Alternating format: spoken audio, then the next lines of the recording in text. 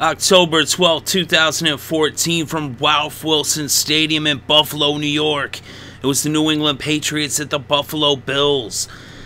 And there was no scoring in the first quarter, but in the second quarter, the Patriots got on the board with a one yard touchdown pass from Tom Brady to Tim Wright, and that put the Patriots ahead 7 0 over the Bills.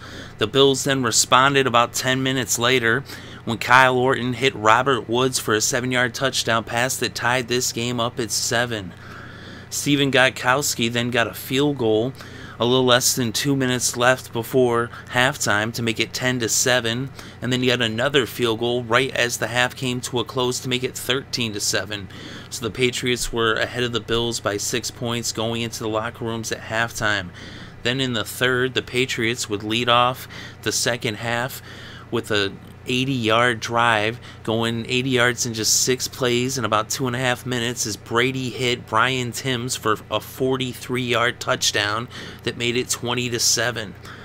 But then the Bills responded as they came back with an 80 yard drive that was 13 plays and took 7 minutes, capped off by a 1 yard touchdown run by Fred Jackson that made it a 6 point game with the score Patriots 20, Bills 14. Stephen Gostkowski then would kick his third field goal of the game, this one from 40 yards out with about three minutes left in the third, and that made it 23 to 14 Patriots over Buffalo. And that was it for the third quarter. Then in the fourth, the Patriots extended their lead as Tom Brady hit Brandon LaFell for an 18-yard touchdown pass that made it 30 to 14.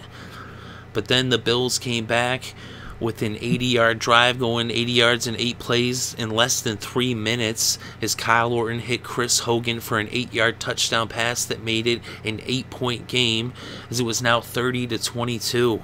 The Patriots still responded as Tom Brady hit Brandon LaFell this time for 56 yards in the touchdown to make it 37 to 22, and that would be the final score.